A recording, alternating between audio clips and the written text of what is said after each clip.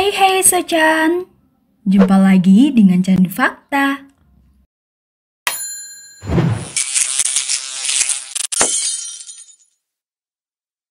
Nah sob, berbicara mengenai manusia super tentunya kita terbayang akan kekuatan dan kehebatannya.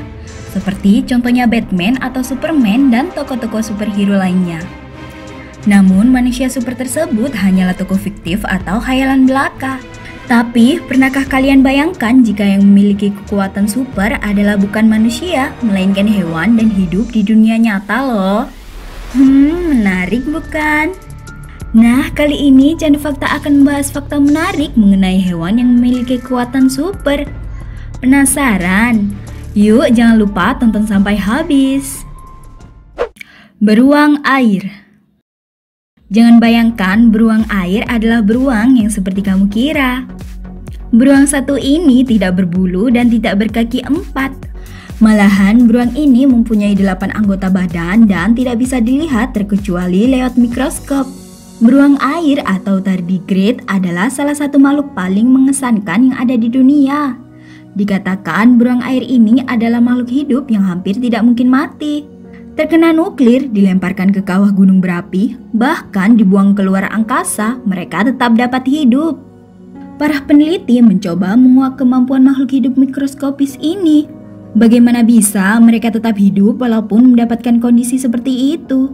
Berikut ini adalah temuan-temuan tentang makhluk hidup yang juga dikenal sebagai tardigrade tersebut. 1. Beruang air bukanlah beruang pada umumnya, melainkan semacam alien. Spesies beruang air ada banyak sekali. Kamu bisa menemukannya di berbagai benua, mulai dari pegunungan tertinggi hingga laut terdalam. Beruang air lebih banyak ditemukan di air, tapi di darat bisa ditemukan di lumut loh. Dua, kekuatannya ditemukan di luar angkasa.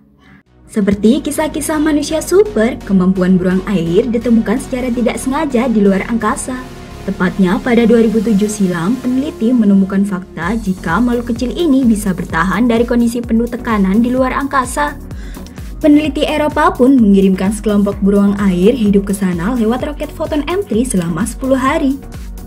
Saat kembali, peneliti menemukan 68% beruang air tersebut selamat dari siksaan tersebut. 3. Mereka memiliki kemampuan untuk bertahan hidup tanpa air.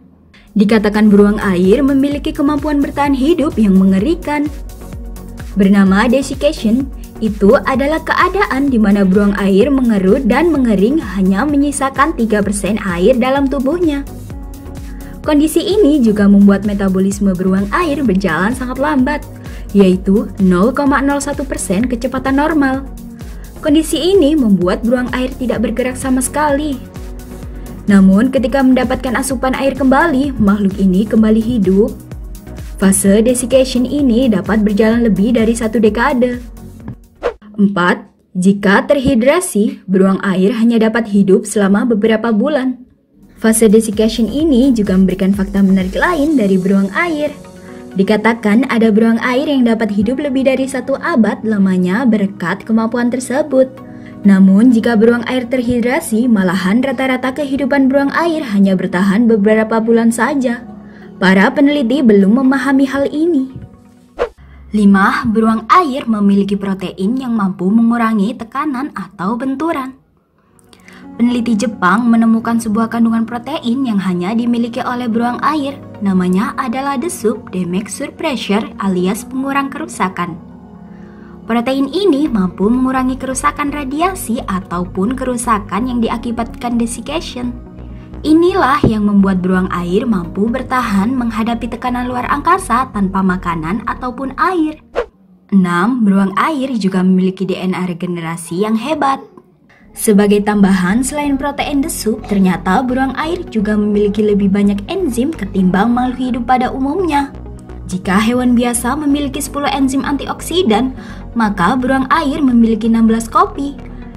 Selain itu, DNA regenerasi beruang air berjumlah 4 kopi, sedangkan rata-rata hewan hanya memiliki satu saja.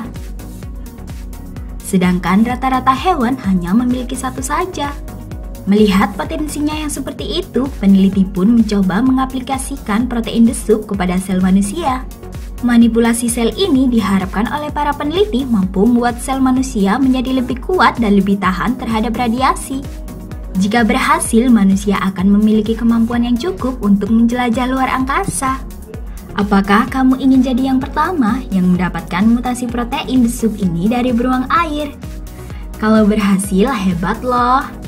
Kamu bisa menjadi manusia pertama yang dapat bertahan hidup di luar angkasa tanpa baju pelindung dan itu mengindikasikan kamu menjadi manusia super loh. Bagaimana? Mau mencobanya? Nah, itu tadi beberapa fakta menarik tentang hewan yang memiliki kekuatan super ya. Sulit dipercaya bukan? Buat kamu yang belum berlangganan, silakan pencet tombol subscribe, like, dan share ke teman-teman kalian ya agar mereka juga mengetahui informasi-informasi terbaru tentang kejadian-kejadian menarik yang ada di dunia.